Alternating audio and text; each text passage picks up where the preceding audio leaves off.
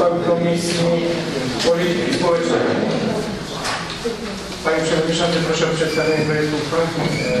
Projekt uchwały propozycja Komisji Polityki Społecznej z dnia 7 października w sprawie charakterystyzowanej powierzonych dzielnicy ósmej z zakresu problematyki osób niepełnosprawnych na rok Ja to poprawkę 2014. poproszę od pana radnego. E, Merytoryczna regulacja sprawy, paragraf pierwszy. Dokonuje się korekty instytutowania powierzonych dzielnicy ósmej z zakresu problematyki osób niepełnosprawnych na 2014 rok zgodnie z załącznikiem do niniejszej uchwały. Paragraf drugi uchwała politycznej podjęcia. Wynik głosowania jest za e, jednogłośnie. E, Opinia zarządu negatywna, 4 za jednogłośnie. Uzasadnienie konieczne jest uszczególnione zadaniem przepisanym w zadania. No i tutaj załącznik do, e, tego projektu uchwały, lista zadań powierzonych dzielnicy problematyki osób niepełnosprawnych na rok 2014, przystosowanie istniejących sanitariów do potrzeb osób niepełnosprawnych Zaszewska 27 68 350, rozbudowa i modernizacja systemu przyzywowego w pokojach i łazienkach oddział trzeci DPS Nowaczyńskiego 22 tysiące. E, Wigilia dla niepełnosprawnych ubogów mieszkańców dzienniczym odwód 4000, razem 54 350. Taka uwaga, no tutaj widzę, że jest e, opinia zarządu negatywna, wręcz dziwi, bo e, było to konsultowane przewodniczącym dzielnicy, no rozumiem, że to dla dotyczy punktu pierwszego, który tam e, co do kwoty nie był doprecyzowany, ale no, ustaliliśmy, że, że jak będzie wiadomo, jak, jak, jak, jakie będą potrzeby tam kwestii sanitariów, no to stosowną korektę dokonam. Nie miałem żadnej informacji, więc dlatego mi dziwi, bo tak to jest. Dziękuję bardzo. Zarządu jakieś propozycje, to myślę, że wszyscy to komisja nawet mogła się zwołać. Proszę Państwa, kto z Państwa chciałby zabrać głos w tej sprawie? Pan. No właśnie tutaj yy, Antoni już zaczął, to pyta- zaczął jakby moje pytanie. No, bo komisja była 5 osób za, zarząd y, negatywnie, się określić w 100% negatywnie. Yy, Właśnie jaka jest rozbieżność, bo tutaj no, zarząd ma swoje informacje, komisja ma swoje informacje. Mamy te same informacje, ale kolega odczyta poprawkę. Proszę Państwa, odczytam e, poprawkę zarządu, ale może przed odczytaniem e, powiem taką rzecz, że mm, analizując tą propozycję komisji e, doszliśmy do wniosku, że komisja jednak nie pochyliła się nad y, podziałem tych środków, no powiedział rzetelnie, bo odczytam poprawkę i ewentualnie przekazania.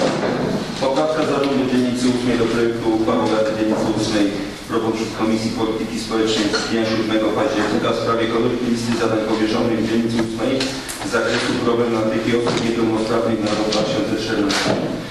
W załączniku do projektu uchwały Rady Dzielnicy 8 propozycji Komisji Polityki Społecznej w sprawie korekty listy zadań powierzonych w Dzielnicy 8 z zakresu problematyki osób niepełnosprawnych na rok 2014 wprowadza się następujące korekty.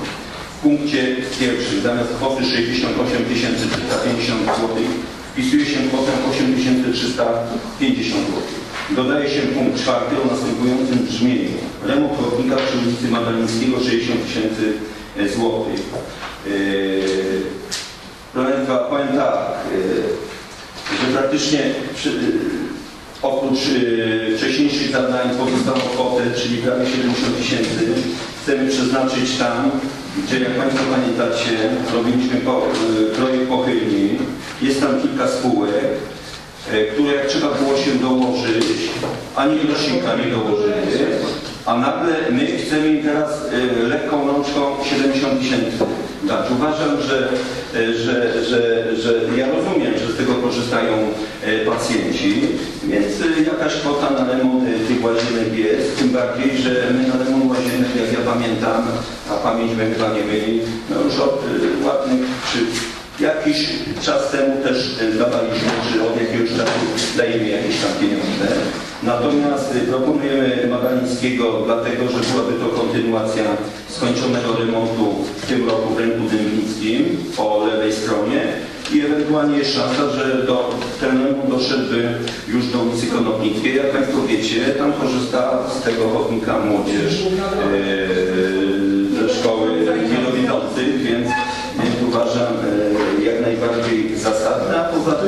no też, y, proszę? No tam też jest przychodnia, y, no ale, ale, ale w jakiś No sposób...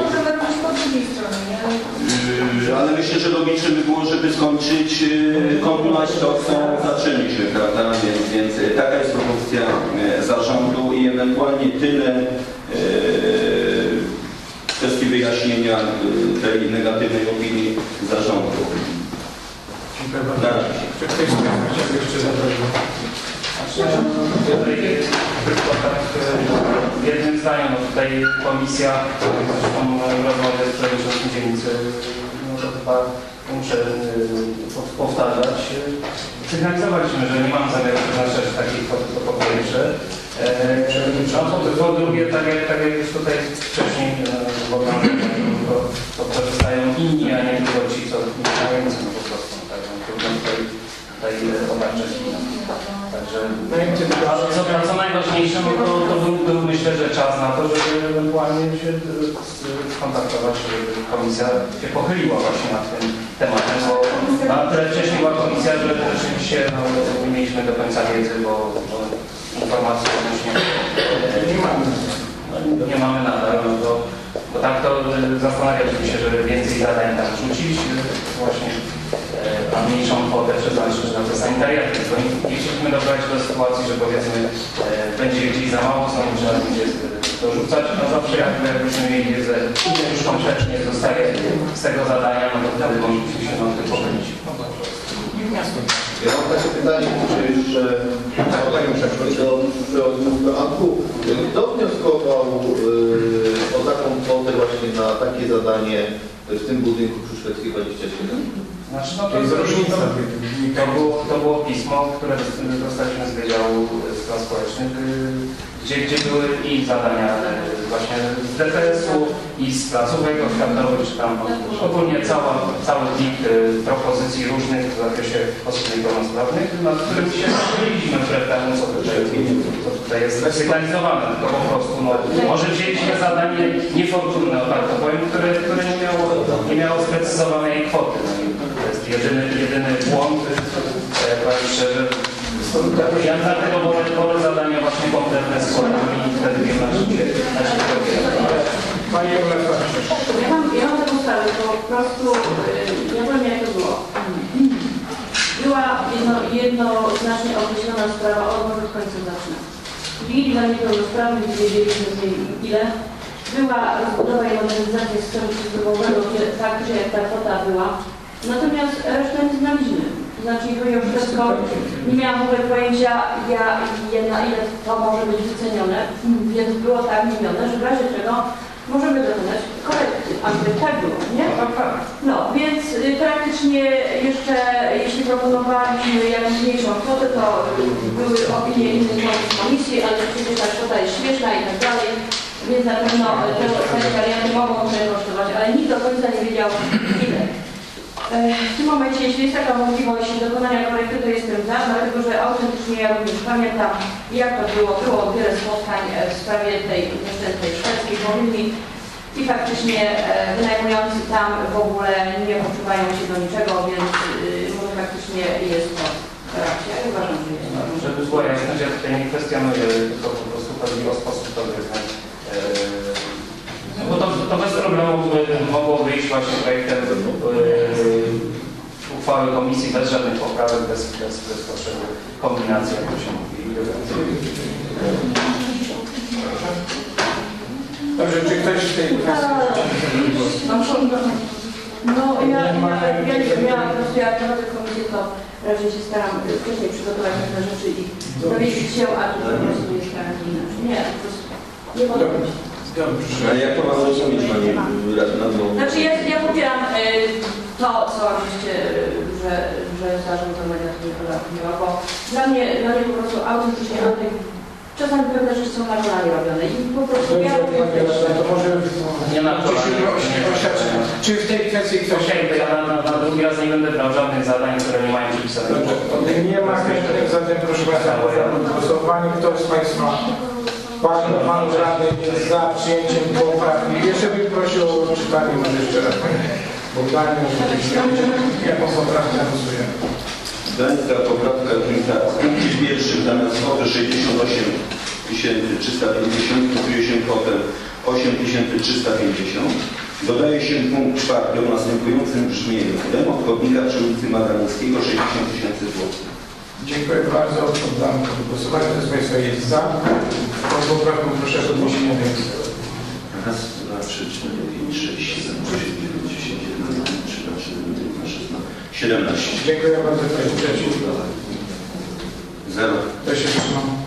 Raz. Dziękuję bardzo. Stwierdzam, że poprawka została przyjęta.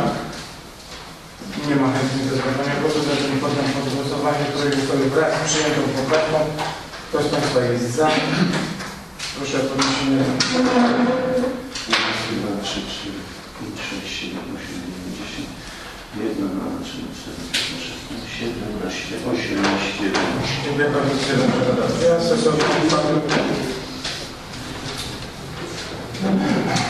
Przechodzimy